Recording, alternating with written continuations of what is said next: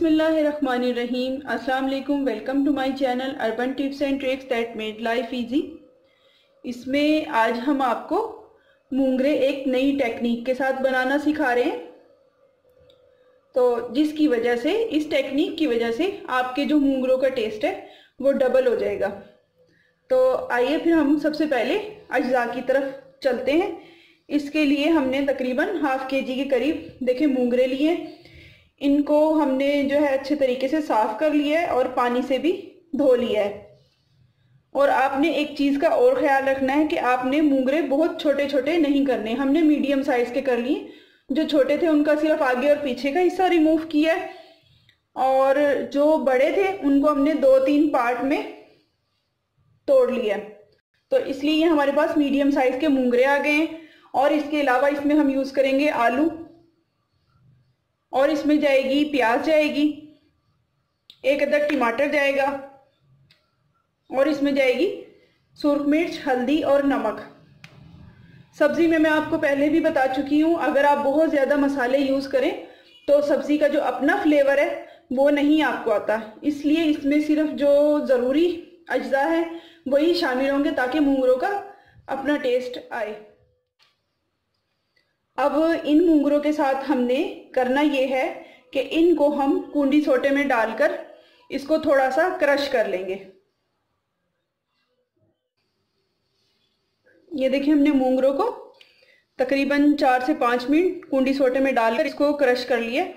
अब ये अंदर से टूट गए तो अब हम अपनी बाकी रेसिपी जो है वो बनाना स्टार्ट करते हैं। करके हमने पैन इसके ऊपर रख दिया और इसमें हमने थ्री स्पून के करीब ऑयल जो है वो ऐड कर दिया। अब हम इसमें प्याज शामिल करेंगे।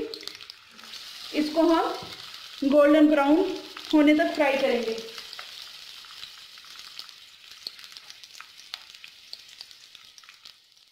प्याज देखिए गोल्डन ब्राउन हो चुकी थी। अब इसमें हम टमाटर हमने डाल दिया और ये बाकी मसाले भी इसको डाल के हम पकाएँगे इसको। और इसमें लहसुन, अदरक का पेस्ट भी शामिल करेंगे। उसके बगैर तो आपको पता है, कोई भी खाना मुकम्मल नहीं होता। ये हमने इसमें डाल दिया। मसाला हमारा बिल्कुल अच्छे से तैयार हो गया। अब हमने ये करना है, जो मूंगरे हम आपको क्रश किए हुए दिखा चुके हैं, वो अब हम इसमें ऐड करेंगे। इसको मसाले को हल्का सा और फ्राई करेंगे और फिर इसमें मूंगरे ऐड करेंगे। हमारी जो रेसिपी का मेन पार्ट है, वो यही है कि जो हमने मूंगरे आपको क्रश करके दिखाए हैं। तो इससे ये होगा कि ये जैसे मूंगरे थोड़े से टूट गए हैं तो इसके अंदर तक मसाला चला जाएगा और फिर ये आपका जो खाने में टेस्ट है, वो डबल हो जाएगा। सिर्फ़ इस ट्रिक की वजह से।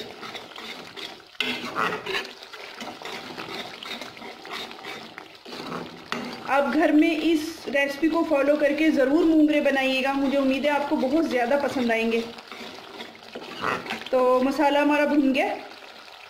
अब हम इसमें मूंगरे और हरी मिर्चें जो एक दो हमने रखी हुई थी, वो हम इसमें ऐड करेंगे। इसमें हम बहुत ज़्यादा हरी मिर्चें नहीं यूज़ कर रहे। बस ये हमने दो तीन ही ऐड किए हैं। और अब हम इसमें शामिल करने लगे हैं मूंगरे। ये देखें। ये क्रश किए हुए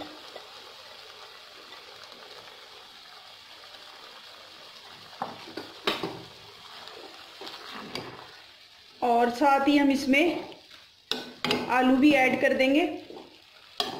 और तकरीबन इसमें हम डालेंगे हाफ़ गिलास पानी डालेंगे। पानी इतना होगा कि आलू जो हैं वो हमारे गल जाएँ। बस हम इसमें इतना पानी डालेंगे।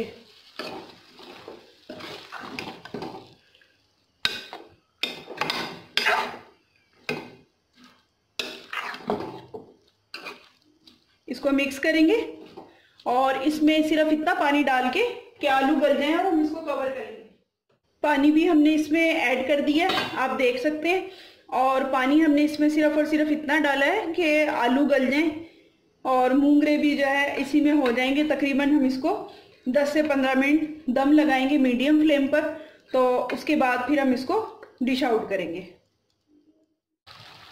तकरीबन इनको 15 मिनट्स हो गए और आलू जो हैं, वो अब हमारे गल चुके हैं। ये देखें, अब हम इसको भूनने लगे और इतना भूनेंगे या इसका इतना हम पानी खुश करेंगे कि ये घी छोड़ दे। और नमक हमने चेक किया था, नमक जो है वो थोड़ा सा कम है। उसको हम सेट करेंगे। सब्ज़ी आप जो भी बनाएँ, उसमें नमक आप हमेशा जो है इस स्टेज पर सेट कर लें तो वो मिक्सअप हो जाता है। अपने टेस्ट के हिसाब से आप सेट कर सकते हैं। ये देखें, आलू इतने नरम हो गए हैं कि थोड़ा सा भी ज़ोर से चम्मच चलाएँ तो वो टूट रहे हैं। अब बस हम इसको फ्राई करेंगे और फिर आपको डिश आउट करके दिखाएँगे। ये हमने फ्राई कर लिए थे और इसको अब हमने डिश आउट कर लिया अब ये बिल्कुल रेडी है। और आप इस रेसिपी को इंशाल्लाह ज़रूर ट्राई कीजिएगा। आपको यकीनन पसंद आएगी। और हम दावे के साथ कह सकते हैं कि आपको यूट्यूब के किसी और चैनल पर ये रेसिपी नहीं मिलेगी। और इसके साथ ही मुझे और मेरी टीम को इजाज़त दीजिए। अल्लाह आपका हामी नासिर हो। अल्लाह हाफिज़।